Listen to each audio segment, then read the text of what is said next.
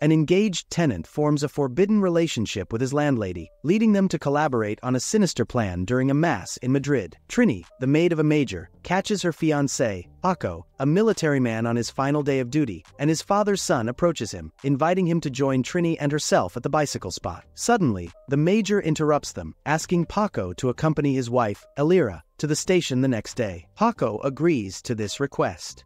As they stroll together, the children bike around town and her fiancé discuss their plans for after marriage. She promises to continue working hard to save money for both of them, while he agrees to look for a job, aware that Paco has moved out of the barracks. He provides him with an address where he can rent a room while searching for employment. Subsequently, he heads to the location and meets Louisa, the beautiful and widowed landlady. The next evening, the unemployed man visits Trini at the major's house when she asks about the landlady. He admits he's unsure whether the woman has children, this information has raised suspicions in the maid, but her fiancé reassures her that he thought of her the night before as he embraced her. This major interruption by Paco leads him to refer her to his brother-in-law for a job opportunity. Soon after, Paco secures a job at a brick factory. However, witnessing his struggles with the tasks, the manager concludes that the work is unsuitable for him, leading to Paco's unemployment once again. Upon returning to the apartment, Paco realizes he has forgotten his keys, causing him to wait for Louisa to arrive before he can enter.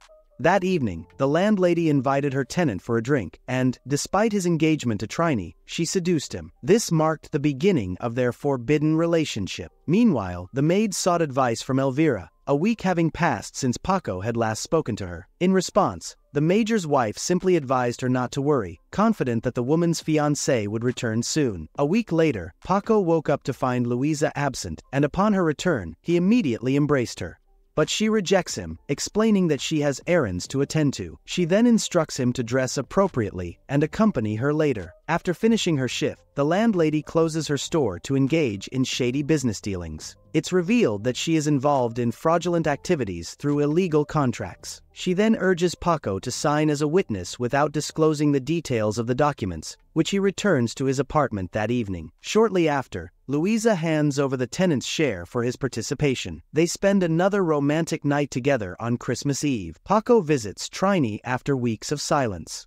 The man informs her that he left the building site but found a new job at a bread factory. He suggests going out to eat, but his fiancée prefers to stay in, noting that the major's family will be on vacation, leaving the house all to themselves. During dinner, Trini expresses her excitement about their future together. After marriage, she encourages him to save more money so she can take care of him should he lose his job. She tells him she plans to open a shop where he can work, if needed.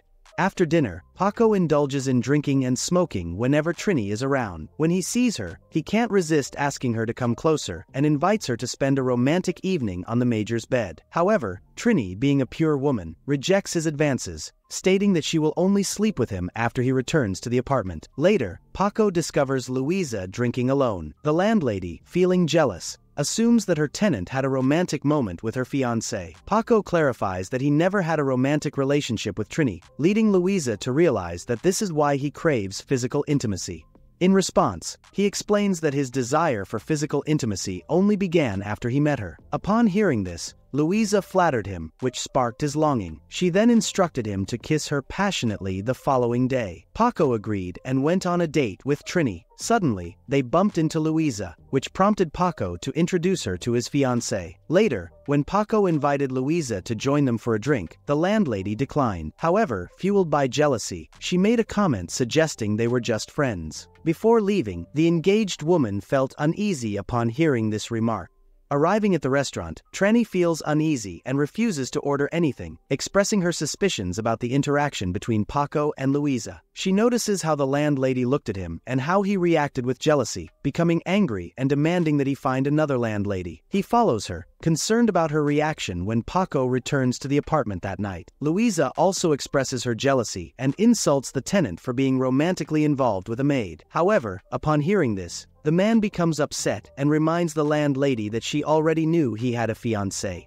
Louisa continues to be upset realizing that Paco hasn't slept with Trini yet, and she becomes furious at the thought of them eventually doing so, despite her frustration. Despite this, she still invites him to spend a romantic morning with her the next day. The major hears Trini crying in his wife's arms, and Elvira comforts the maid who confides in her suspicion that her fiancé has been sleeping with her landlady. The major's wife offers comfort, acknowledging that men sometimes sleep with someone else. She then advises the engaged woman to win her fiancé back by enticing him. Following Elvira's advice, Trini decides to take a taxi and instructs the driver to park in front of Louisa's apartment. This is when she notices the landlady exiting the vehicle and heads towards the apartment to carry out her plan. Meanwhile, Tracy investigates Paco's room but is skeptical when he insists he made his bed shortly after she removed her undergarments to attract his fiancée. Despite this, Tracy remains convinced that Paco is not in love with Louisa, despite Tracy's belief that she can fulfill all of his desires. Meanwhile, Louisa meets with her business partners and discovers that she owes them money. When the woman admits she doesn't have the cash to pay, they insist she settles the debt, threatening to disfigure her face if she doesn't comply. After their special moment, Trini deliberately leaves the apartment and sits on the stairs to reapply her lipstick, ensuring that Louisa sees her upon her return home. Upon entering the apartment, the landlady discovers that Paco and Trini have spent a romantic moment on his bed.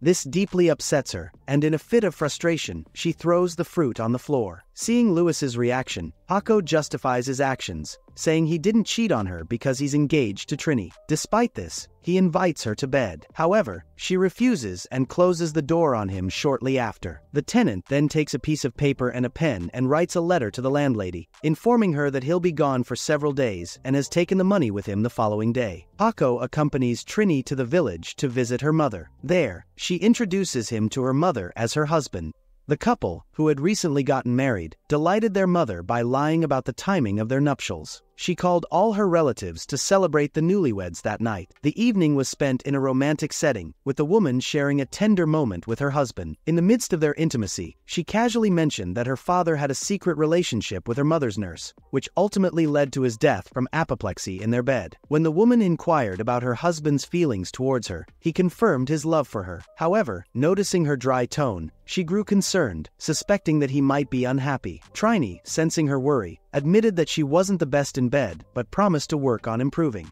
Instead of discussing it further, he invites her to walk outside when the clock strikes midnight as the train tears apart. While eating, she realizes she can't make her fiancé happy by dancing the night away. The engaged woman expresses her frustration, feeling like she has given her all to him, only to find that he only seems to think of her as a burden. Paco, however, explains that while it's true he's uneasy and wants to return to Madrid, his feelings stem from wanting to leave Louis's apartment and finally find stable employment. He reveals that his odd behavior earlier, after getting fired from the bread factory, was because he was upset about losing his job.